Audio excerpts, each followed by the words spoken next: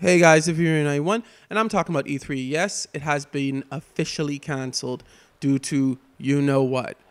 So it kind of sucks, but human life way more important than a game conference. So yeah, if going to California, as we know, LA already declared like a state of emergency and whatnot. So and going to a conference where there's going to be like thousands of people just walking around, you know, could put you at risk. Then it's good that they canceled it. I actually got told this on Tuesday before the official announcement.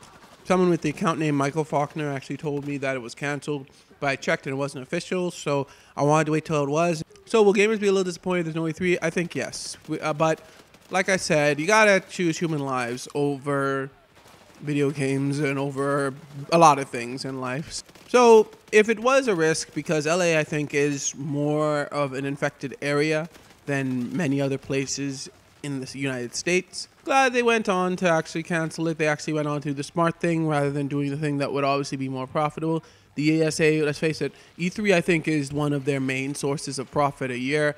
So for them to actually say, hey, this is not worth the risk when that is like millions and millions of dollars, mm, good for them. Good for them to actually put human lives over profit. But do I think the companies will still not make their announcements? No, I believe they will. I think we're going to get a bunch of digital directs, just like how what Microsoft is doing next week in lieu of GDC. I think that's what we're going to get with E3. I think a lot of companies will just do like direct type announcements.